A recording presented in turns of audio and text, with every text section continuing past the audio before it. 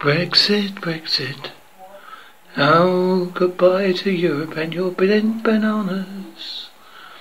We will have 'em back, you see. We wanted our pound back, not kilos, 'cause that's what we wanted from thee. You tried to take us rulings, and you wanted us to pay millions, or was it billions? So all I have to do is say to you, to Europe, cheerio, cheerio. Oh, Europe, cheerio.